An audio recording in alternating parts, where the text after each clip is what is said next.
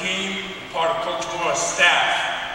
As I uh, grew up around here in Orange County, went to school in Mater Dei, uh, you guys don't know this, but uh, my favorite college player was a guy named Jerry Robinson. He was a linebacker, and I thought I would be a linebacker, but I stopped going up, I started going sideways. as, uh, as I went through this season, I, I, took the year to enjoy my family, and, and I thank my wife, who's a UCLA grad. And my father-in-law was alumni of the year here in the 80s. Uh, my mother-in-law is a graduate of UCLA, and, and all my brothers and sisters-in-law are all UCLA grads. So uh, I, uh, I, have some favors I need to call on because uh, they really, really enjoy me being here, and I really enjoyed being here myself. But I uh, was sitting there at Loyola High School enjoying my son, and I get a phone call uh, from the head coach, but at the time I didn't know it was the head coach. I thought it was someone else. And, and it was Coach Mora talking to me, and, and I thought he was calling me to recruit, because he's always recruiting, recruiting a kid that was at that school. But at the time, he and I started a conversation, and he goes, and, and I just watched the game that this team demolished out in the Coliseum. I'm like, great job, coach. And, as we're talking, I'm going, coach, I don't recognize that style.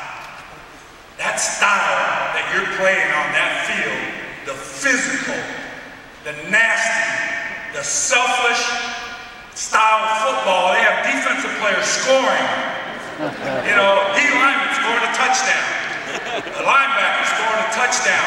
That selfless style of football and that style of physical and enthusiasm, that passion that they play with. And when he said, I'm offering you a job, I was like, whoa. I want to see that. I want to join that. And I'm damn glad I joined. I'm joining that.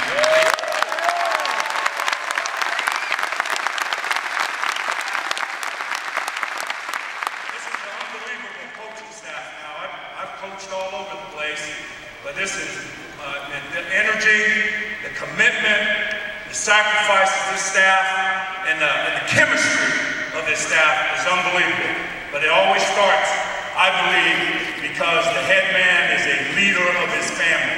When you're a leader of your family, the rest falls in place. That's like take care of your children that you pass on to us and play football here for Coach Jim Mora and UCLA. We are blessed to get a running back in this class, and we've been working late here to get him into school and make sure he's uh, ready to go. But Nate Stark started his career out in Vegas and, and his, uh, ended his high school career in Cherry Creek. Again, came together as an offensive staff, most of our guys were in that 190 range.